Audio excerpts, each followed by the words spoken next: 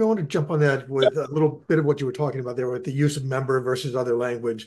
You mentioned in passing that it sort of empowers the people in the community to decide what they want to be called, and then we work with them as part of that community. What would you counsel current students and people out there in the information field in terms of identifying the idea that our language isn't keeping up with our changing situations and what can we be doing to actually make that language more reflective beyond just saying what do you want to be called it, it's because you're right. It pervades everything we do. And one of the what's interesting, of course, is there's a strong history of language in librarianship.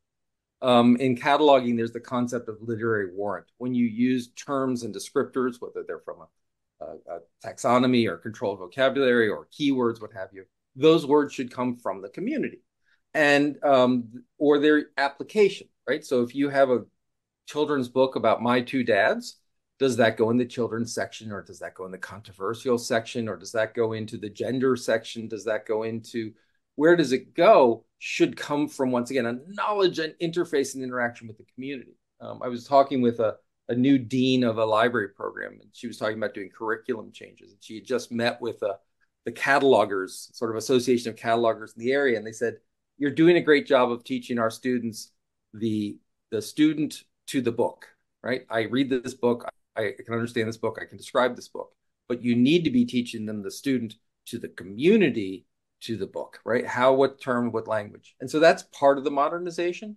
Also, literally language usage, how we come in and, you know, from, you know, Queens Library collecting 100 plus languages and what do we do with those different uh, languages and how do we bring them in?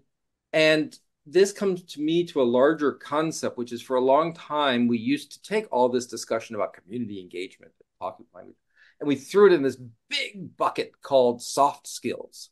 And you know, when one of the things that people don't necessarily realize is that students coming into library science program, and not every librarian goes through a library science program, but it's pretty representative sample. Students used to come in in their late 30s, second career.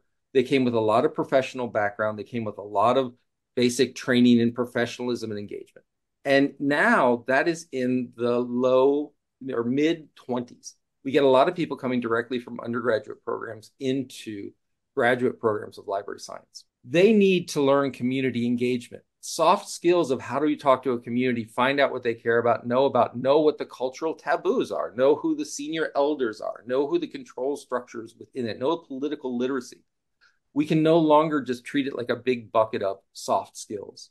And so now we are increasingly in research and in education turning the soft skills into the concept of engagement and cultural literacy and cultural understanding. And that's not just keywords for critical race theory and critical librarianship that has a place and certainly informs that. But it is that larger concept that as librarians, your job is to make that human being over there a better human being, not to make sure that all this stuff's in the right place just in case that person wants to be a good human being.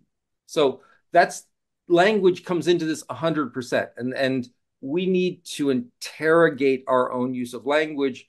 And a lot of it is we need to invite our communities into that process as well.